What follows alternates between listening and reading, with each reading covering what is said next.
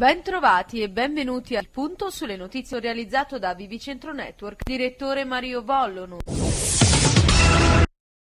Il Comando Provinciale della Guardia di Finanza di Napoli, nell'ambito dei controlli nei confronti dei soggetti percettori dei bonus spesa Covid-19, ha scoperto che oltre 700 soggetti hanno ottenuto indebitamente il beneficio dichiarando di trovarsi in condizioni di difficoltà economica, ovvero di indigenza tali da non consentire nemmeno il minimale approvvigionamento di generi alimentari e di prima necessità. È emerso, infatti, che uno o più componenti dei nuclei familiari monitorati, a seconda dei casi, avevano ricevuto lo stipendio o una pensione, anche per cospicui importi, e percepito anche il reddito di cittadinanza, indennità di disoccupazione o altre prestazioni sociali agevolate, oppure alterato il proprio stato di famiglia indicando soggetti fittizi o non residenti per incrementare la somma da percepire. Davvero tante le situazioni di rilievo. Si va dai coniugi che hanno richiesto entrambi il bonus ma per lo stesso nucleo familiare, a soggetti che già percepivano l'assegno di mantenimento pagamento per separazione a titolari di partita IVA e persino a congiunti di esponenti della criminalità organizzata. Nella maggior parte dei casi è emerso che i nuclei familiari monitorati hanno indicato un ISEE con un valore inferiore a quello previsto. Per approfondire questa notizia leggi l'articolo su vivicentro.it.